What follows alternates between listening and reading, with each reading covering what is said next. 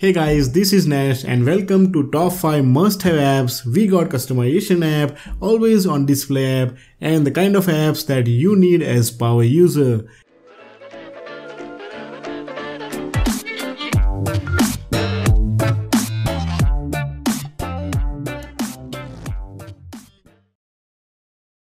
So the first app on the list is battery meter, which always shows battery percentage at the top of your status bar. Kind of looks cool and really helpful when you're watching movie or playing a game. Obviously you can change size, shape and color of battery meter and it kind of gives vibes of the new essential phone. Really small app and doesn't drain the battery and it gives your phone personal and unique touch. So the next app on the list is Powerline. Now this is again status bar customization app, but unlike status bar meter app, you can put different lines which indicate different information about your phone. So the first line indicates remaining battery and the second line indicates remaining storage of the phone. And obviously you can customize everything about these lines Again, really useful app when you're watching movies or playing game and each lines can be repositioned as per your liking. Personally, I'm using this app since few days and really happy the way it performs. A must have for all the power users.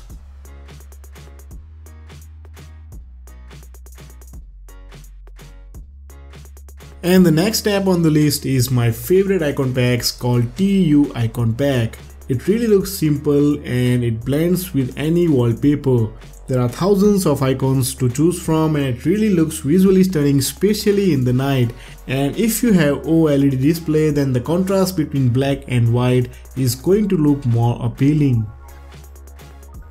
Definitely must have icon packs if you like to customize your phone and despite of being this much detail icon pack it's free so go ahead and grab it.